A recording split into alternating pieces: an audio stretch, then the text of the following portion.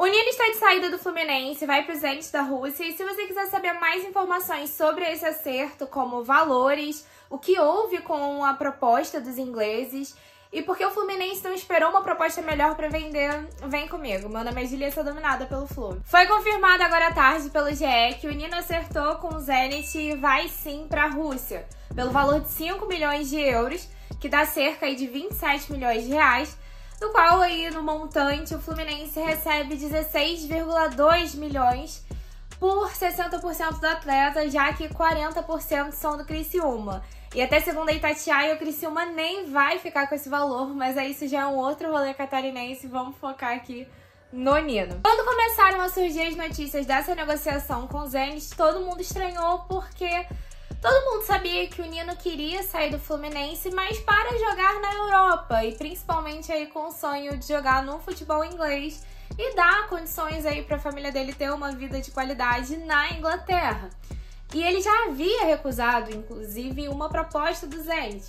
Assim, foi um espanto saber que ele estava negociando com um time russo. E a gente passou aí também muito tempo ouvindo sondagens de que muitos times tinham interesse no Nino, um deles era o Nottingham Forest, que faz a gente passar ali até a final da Libertadores achando que o Nino já estava basicamente vendido é, pro futebol inglês.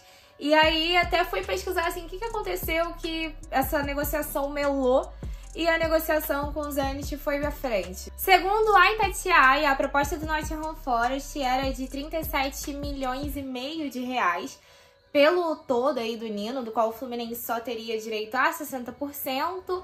Só que esse valor era parcelado. E assim, imagino que fosse uma parcela que não fosse viável para o Fluminense. Até porque a gente sabe que o Fluminense contava agora em 2024 em fazer um bom caixa com as vendas de André e Nino.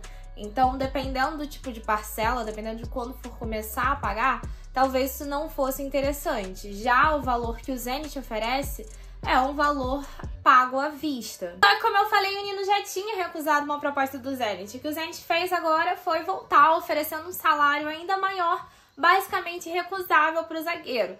Mas assim, vamos falar a verdade. O Nino é um zagueiro de 26 anos, zagueiro de seleção brasileira, campeão pela seleção olímpica, atual campeão da América. Por que ele vai sair por esse valor? Porque o Fluminense não esperou mais um pouco, já que é até sonho do jogador ir para a Europa. E aí, tem algumas situações envolvidas nisso. A primeira delas era o acordo que o Nino tinha com o Fluminense e o Mário Bittencourt fala sobre esse acordo no Charla Podcast. Ele explica que desde que o Nino chegou ao Fluminense até 2023, surgiram algumas propostas, algumas até que eram interessantes para o Nino, e o Nino já tinha essa vontade de jogar fora do país mas o Nino recusa por não atenderem ao que o Fluminense queria. Surgiram também propostas contrárias, que em termos de valores eram boas para o Fluminense, mas que não estavam no plano, nos planos do Nino. E o Fluminense recusou essas propostas. Enfim, essa boa relação que o Fluminense tem com os jogadores, e enfim, a gente tem que lembrar que o jogador não é produto, é uma pessoa, então as negociações não são tão simples assim. A última proposta que mais agradou foi no final de 2022, só que o Mário falou assim: Nino, eu preciso de você para 2023.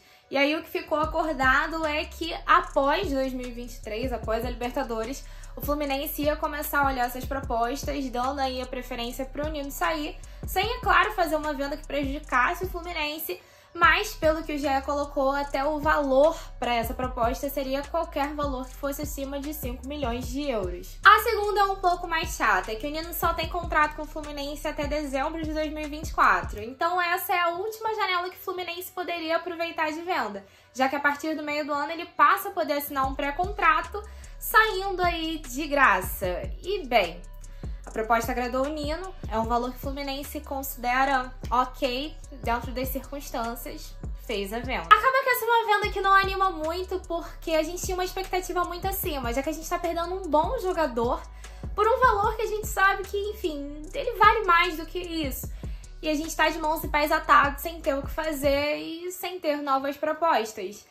Mas eu vou pegar aqui uma fala do Gabriel Amaral no vídeo que ele fez mais cedo também sobre o Nino e que eu achei, assim, excelente, que de certa forma conforta a gente com relação a esses valores.